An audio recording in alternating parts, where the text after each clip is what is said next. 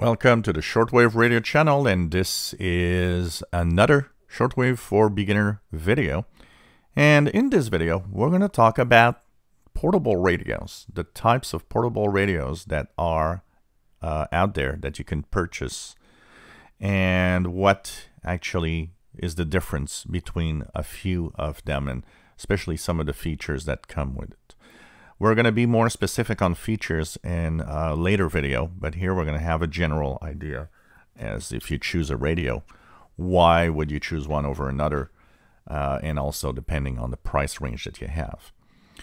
Uh, for, you know, a good radio is probably um, what makes the difference in a lot of situations between somebody that will stay in the hobby or somebody that will not. Buying a cheap radio that is no good will not help in the hobby.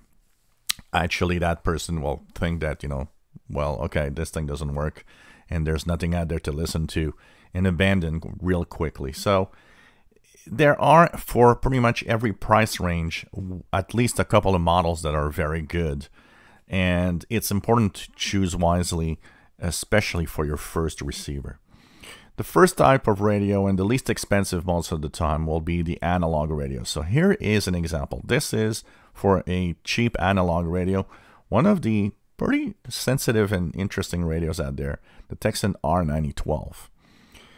The analog radios have a, of course, a needle, and they have often they're separated in different shortwave bands, and are the most basics of receivers.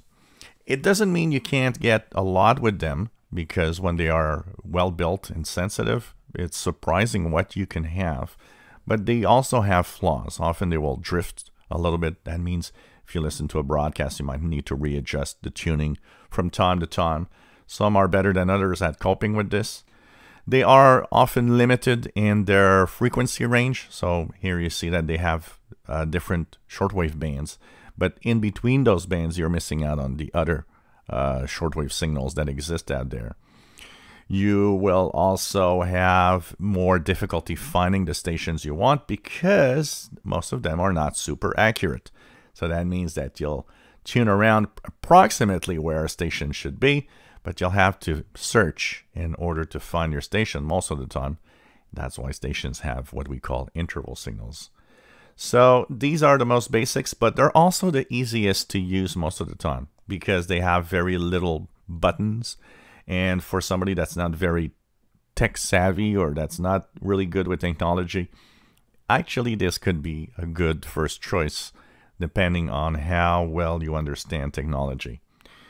There are some good models out there, like this one, the R9012. There's more expensive ones but um, this is really for most part an entry level receiver.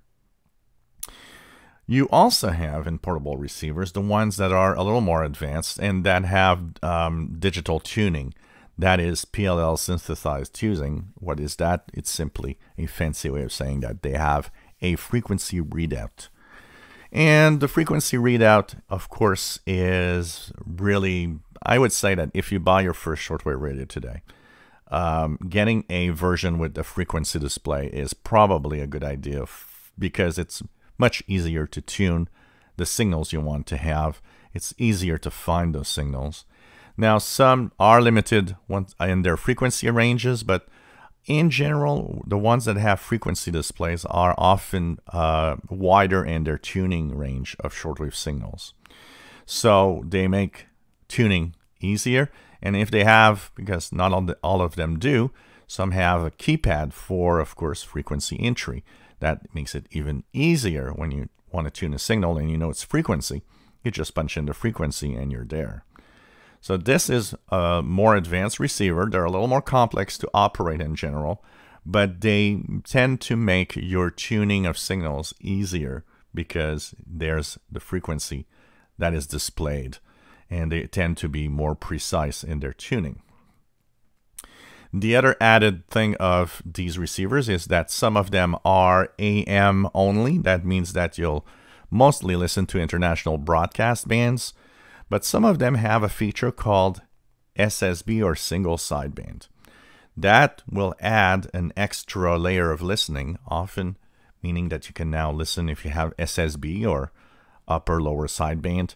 You have the ability to listen to amateur radio operators and also to utility signals.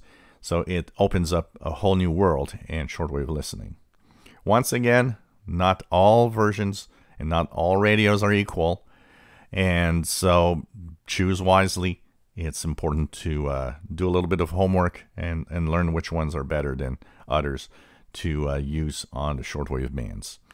So that's pretty much in the portable side. Uh, a quick rundown of the two types of radios you'll actually see the analog style and the ones that have digital displays. That often makes it easier to tune. If you enjoy our videos, please subscribe, give us thumbs up. Thank you for watching.